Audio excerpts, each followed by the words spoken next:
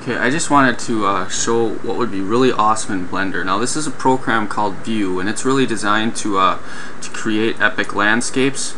Um, so I've got like a mountain here, sky, ground, and some rocks. But what is really great about this program is it has this awesome uh, like outliner, but it's so much better than the Blender one. Look at what I can do. So I've got this procedural terrain, and right now it's on layer one. Well, I could move that just by dragging it. Oops. I could. I am so sorry. It won't be good to me now. Uh, I could just drag it to like this layer that I have named background, and I can name these layers whatever I want.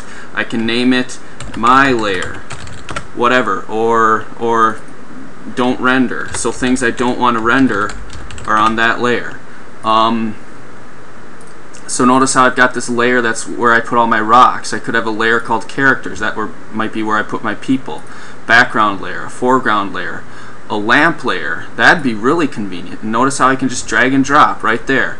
Open it, close it.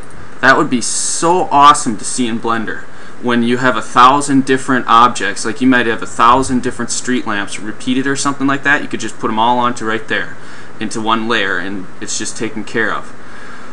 Uh, and you can look specifically what is on this layer, what is on this layer. Okay? That would be awesome.